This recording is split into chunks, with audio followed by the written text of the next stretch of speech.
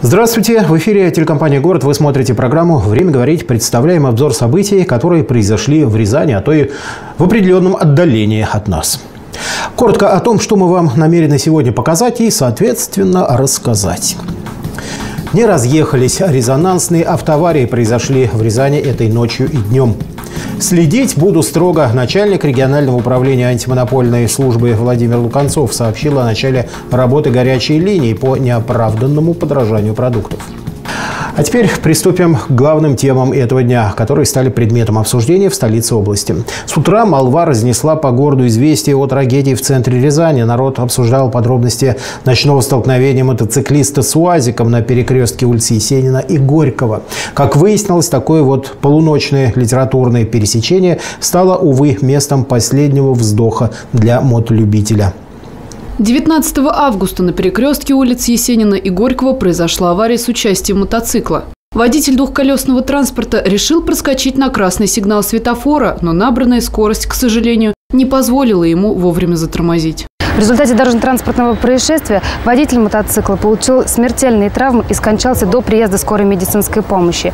Его пассажир также получил травмы и был госпитализирован в областную клиническую больницу. Водитель автомобиля УАЗ не пострадал. А сегодня, буквально несколько часов назад, недалеко от поселка Агропустынь, произошло еще одно ДТП со смертельным исходом. Четверо мужчин на автомобиле «Лада Калина» двигались в сторону Рязани. Водитель не справился с управлением, в результате чего на большой скорости автомобиль улетел в кювет. В автомобиле транспортного средства, кроме водителя, находилось еще три пассажира. Все взрослые мужчины. А, двое из них получили серьезные травмы и с места дорожной аварии были госпитализированы в больницу. Пассажир, 48-летний мужчина, который находился на переднем пассажирском сиденье, а, получил смертельные травмы и скончался на месте дорожно-транспортного происшествия. Автовладельцам, говорят дорожные инспекторы, следует твердо усвоить простые истины. Ни один среднестатистический водитель не имеет права назвать себя асом. Это во-первых. А во-вторых, транспортное средство – лишь железка со сложным механизмом, который может отказать в любой момент. Не гоняйте, не лихачьте, не подвергайте опасности жизни невинных людей. Всех нас дома ждут родные. Информация к сведению. В российских автошколах теперь будут больше времени отводить для психологической подготовки будущих дорожных асов. В отдельный теперь выделен предмет психофизиологические основы деятельности водителей. Отведено на него 12 часов аудиторных занятий. Большое внимание предполагается уделить психологическим тренингам, на которых будут обыгрываться различные ситуации.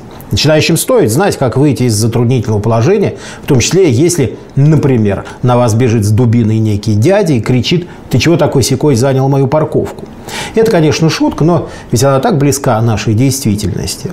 А вообще, главное, надо бы втолковать на таких занятиях молодым водителям, что правила дорожного движения выработаны и обязательны к соблюдению для всех и каждого, днем и ночью в том числе и для таких великих и отчаянных дорожных д'Артаньянов и Бэтменов, как они, новички.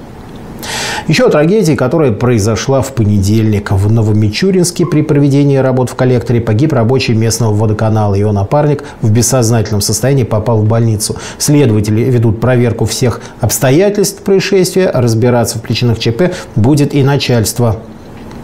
Банальная причина работа в колодце, в канализационном колодце, э, значит, без должной вытяжки и без должного контроля, без соблюдения, скорее всего, правил техники безопасности, я прошу Ахметова, я понимаю, там сейчас следственные органы работают, э, но я прошу Ахметова по служебной линии разобраться с причинами – Э, дать соответствующее поручение на проведение инструктажей дополнительных на рабочем месте по всем коммунальным предприятиям частной, государственной, муниципальной собственности и так далее. Причем это муниципальное предприятие.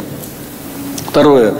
Э, во взаимодействии с правоохранительными органами, которые расследуют, э, после установки причин привлечь тех, кто обязан был и э, следить за охраной труда, значит, и плохо привлечь к ответственности вплоть до увольнения там, и так далее. И еще об одной резонансной трагедии. В Рязани вчера ночью 43-летний горожанин получил смертельный удар ножом. По первоначальным данным, все произошло как-то уж очень буднично, даже пугающе буднично. Уличные ссоры, драка и роковой удар ножом. Около трех часов ночи 19 августа 2014 года на остановке улицы Новоселов, 53, микрорайон Дашкова, Песочный, город Рязани, между тремя мужчинами произошел конфликт, переросший в драку. В ходе драки неизвестный нанес 43-летнему рязанцу удар ножом в бедро и скрылся. В результате полученной травмы пострадавший, успев перейти дорогу, скончался от, от кровопотери возле торгового центра Шереметьевский. В этой связи для органов следствия существенное значение имеют показания водителя автомашина, предположительно темного цвета, кузов типа хэтчбэк, который в указанное время подвозил от торгового центра Шереметьевский мужчину, которому на вид 30-35 лет. Одет был он в светлые джинсы, кофту по типу олимпийки с капюшоном. В руках у него были спортивные и большая сумки. Просим водителя указанного автомобиля обратиться в правоохранительные органы и в железнодорожный межрайонный следственный отдел города Рязани по адресу улица Братиславская, дом 25, по телефонам 92 06 45 96 09 63 или 02. Печально, но теперь даже в банальных уличных стычках все чаще в ход идут ножи и прочие опасные предметы. Раньше как-то обходились кулаками, а когда-то вообще в таких случаях действовал неписанное правило «лежачего не бьют». К другим темам. Российская общественная палата организовала горячую линию по росту цен на продукты. Как известно, наша страна дала ответ на западные санкции, ограничив импорт из целого ряда государств. В соответствующий список попали говядина, свинина, птица, колбасы, морепродукты и так далее, и так далее. Под это дело, как говорится, возможен неправомерный всплеск роста цен на продовольствие, о чем граждане уже и сообщают по телефонам прямой линии. Большинство жалоб связано с повышением цен на курицу и мясо, а в целом, по сообщению специалистов Федеральной общественной палаты, граждане указывают на подражание молочной продукции, главным образом сыра, а также красной рыбы, фруктов и овощей. Информагентство сообщает, что глава комиссии общественной палаты по соцподдержке и качеству жизни Владимир Слепак уже направил запросы о подражаниях в Федеральную антимонопольную службу и Генпрокуратуру. Горячие линии открыты и Рязанским управлением антимонопольной службы.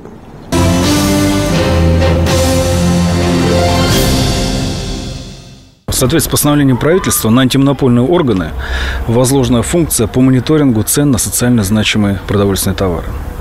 А должен сказать, что государство выступает здесь единым фронтом. А, на прошлой неделе было совещание соответствующее в региональном правительстве а, с приглашением и представителей федеральных, региональных сетей, ритейлеров, приглашением рынков, владельцев, так сказать, объектов нестационарной торговли.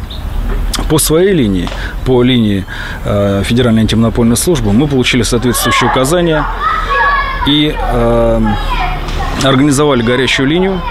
Э, формы две, можно позвонить по телефону 25 54 51 и сообщить о росте цен на социально значимые продовольственные товары, можно заполнить соответствующую форму контактную на сайте Федеральной антимонопольной службы. А, скажите, пожалуйста, как давно работает линия и есть ли уже обращение граждан на данный момент? Обращения нам поступают где-то четверга прошлой недели. А, горячую линию мы открыли а, с начала этой недели, с понедельника. Готовы принимать обращения, готовы реагировать на них. Обращение порядка 20 в день поступает к нам. Мы занимаемся тем, что проверяем обоснованность этих обращений. Любопытное сообщение пришло из Украины, где недавно состоялась интернизация новоизбранного предстоятеля митрополита Ануфрия. В СМИ опубликовано сообщение о том, что во время пресс-конференции председатель Синодального информационно-просветительского отдела Украинской Православной Церкви Московского Патриархата протоиерей Георгий Коваленко заявил, как граждане Украины мы думаем о ситуации с Крымом, так же, как думает наше правительство и все мировое сообщество. Крым является территорией Украины и должен быть возвращен в состав украинского государства. Ну, тут украинский батюшка должен уж сам разобраться в задачах священника, заниматься все-таки служением Всевышнему или, в первую очередь, земному правительству, подтягивая, кстати, ничтоже сумняшися разом уж заодно все целиком мировое сообщество. Вот мнение в этой связи эксперта нашей программы отца Павла для нас является несколько непривычным, когда э, церковные деятели, особенно э, церковные деятели довольно-таки высокого уровня, начинают высказываться по тем или иным э, позициям э, для нас, казалось бы, политическим. Но мы забываем о том, что, как и любой человек, политический деятель имеет право высказать ту или иную свою личную позицию. И э, когда, э, к примеру, святейший патриарх Московской всей Руси Кирилл озвучивает ту ту или иную позицию, которая на его взгляд является оптимальной, почему-то эту позицию начинают рассматривать как э, императив, как какое-то обязательно давление и пожелание сверху. Но это не так. Э, каждый человек имеет э, право выбора и имеет э, свободу. И э, то, что э, тот или иной политический деятель, э, член церкви высказывает свою позицию, который, которую он видит э, именно в таком аспекте, э, в этом ничего не должно быть э, негативного, и это не должно ни в коем разе каким-либо образом смущать прихожан или смущать, наоборот, людей, которые в церковь не ходят. Это личное мнение человека и не более. В очередной выезд по просьбе горожан отправилась сегодня Оксана Тебенихина, дежурный редактор по этой среде. Этот дом появился по адресу Касимовское шоссе 38 в начале 70-х. С тех самых пор за четыре десятилетия в 16-этажке ни косметического, ни капитального ремонта так ни разу и не провели. Дом разваливается буквально на глазах. Бетонные перекрытия лопнули, между стенами образовались огромные щели. С потолка в электросчетчике льются ручейки воды, которые, в свою очередь, стали причиной образования грибка и плесени в углах. Идет расслоение панелей, трещины в углах окон, постоянный вот у меня в квартире треск, у меня лопнуло потолочное перекрытие, а мне говорят, что ничего страшного в этом нет. Плиты отслаиваются. Меж квартирные плиты вот в общем коридоре пользования, там у нас вообще кошмар. Там вообще ужас. Стена валится или вывалится, не знаю. Вот был как-то ураган, дверь с петель слетела у нас на 13 этаже, а кто ее будет ставить? Некому, все пенсионеры. И вот стоит эта дверь, и вторая дверь, и первая, и вторая дверь, все разбитые. И входная дверь тоже самая вся разбитая некому делать. Никакие рычаги давления жильцов на ЖЭУ номер 17, по их словам, не срабатывают. Люди исправно платят в казну коммунальщиков по всем пунктам жилищного прейскуранта. Но куда деваются их кровные, на которые, по идее, должно привести их жилье в порядок, непонятно. Денег на дом найти никто до сих пор не смог. Зато отписки из самых разных органов власти приходят исправно, в срок. Жители дома уже отчаялись предпринимать попытки привести в порядок хотя бы главную фановую трубу. Здание дало крен, и любые стационарные установки, связанные с канализацией и водоотведением, дают течь. А полгода назад в доме произошел страшный потоп. Причиной тому, по мнению жильцов, вообще стал саботаж. За то, что мы два года обращаемся во все инстанции. Нам залили в двухкомнатных квартирах кухни почти до середины дома. На крыше есть у вентиляции, вот хоть вентиляции нету, а эти проемы существуют. Туда шланг был опущен, шланг, и пострадали вот двухкомнатные квартиры. Кем был опущен шланг?